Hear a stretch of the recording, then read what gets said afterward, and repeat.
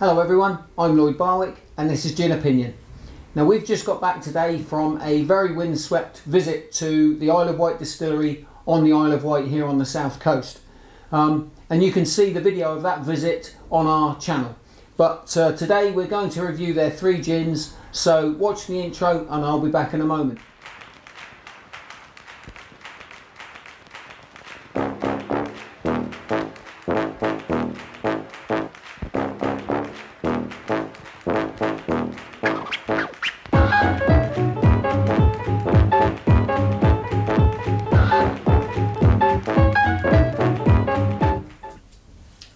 Now, the first gin we have from the Isle of Wight distillery is their Mermaid Dry Gin. Now, this is a London Dry Gin, although it doesn't say it on the bottle.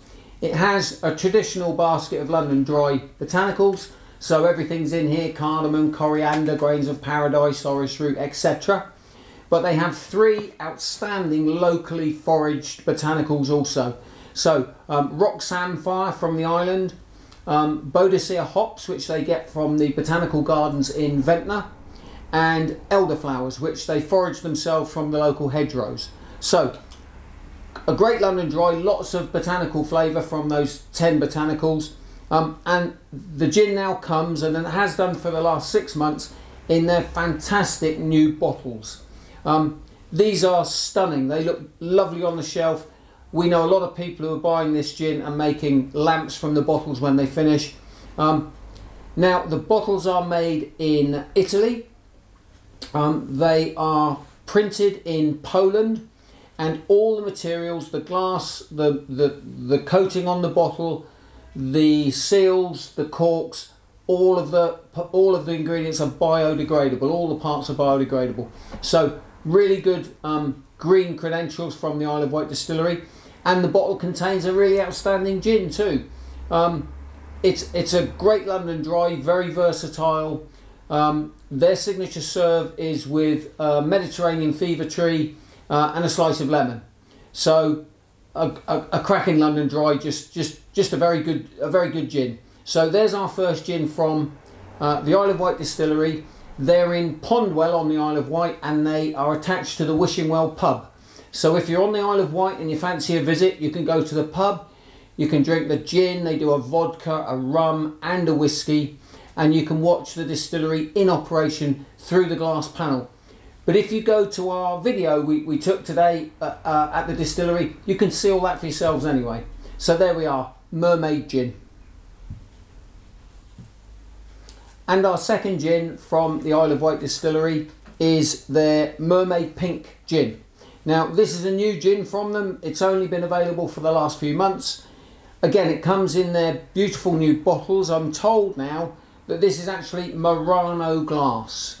Um, so again, the glass comes from Italy. Uh, it's, it's printed in Poland with a Portuguese cork stopper and a fully biodegradable cap. So very green credentials. Now, um, they told us at the distillery today that this is the uh, Mermaid Dry Gin. They uh, take uh, Isle of Wight strawberries. They make a strawberry juice. They put the juice into the gin and then they re distill the gin. Now, they do redistill the gin obviously, but then they must add some more juice because the gin is actually pink. So the pink colour must come after distillation. But it is a beautiful strawberry flavour, not too sweet, very fresh. Um, and their signature serve for this includes um, ginger ale. Now we were we were stunned. We we know that ginger ale goes very well with quite a few gins, especially the rhubarb uh, uh, flavours. But Isle of Wight assure us that ginger ale goes really well with their pink gin. We haven't tried it yet, so we're going to, and we'll we'll let you know what we think. But Great gin on its in its own right. Um, lovely summer gin if you want a fruit gin. It's it's glorious. So give it a try. Mermaid Pink Gin. And our last gin from the Isle of Wight distillery is HMS Victory Navy Strength Gin. Now, um, this is this is fantastic because they make this in conjunction with the National Museum of the Royal Navy they are the only people working with that uh, organisation. And if you buy a bottle of this gin, some of the proceeds will go towards the restoration of HMS Victory. Now, there are several unique tie-ups between this gin and HMS Victory, but I'll tell you about the gin first. Um, it's Navy strength, obviously at 57%. It's um, it's their mermaid dry gin um, with the botanical flavours upped um, to obviously um, suit the navy strength and it is super smooth. Now we have gin discovery evenings here um, about every two weeks and we have a crowd of gin fans in and we always put a navy strength on the menu.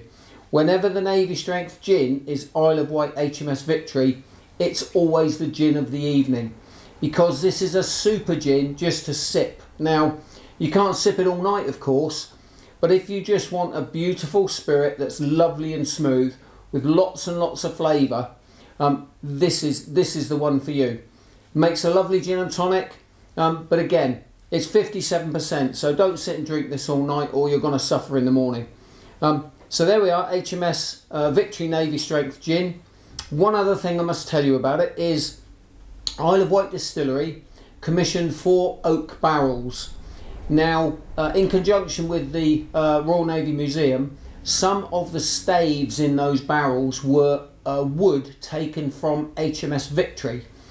Now the barrels were laid down with, with the gin and they have released one barrel per sorry one barrel per year for the last four years. I think they're on barrel number three this year um, and I think there's a maximum of 215 bottles only and if you'd like to buy a bottle, they come in a fantastic oak box. Uh, and hopefully we'll put some pictures on the back of this video to show you the, the presentation box. It's, it's stunning, it's outstanding. Um, and you get a bottle of HMS Victory gin inside that has been in barrels that have oak from HMS Victory. Now if you want to buy one, currently the going rate is £345. Now they are available from the distillery. There aren't many left, so if you want one, get in quick.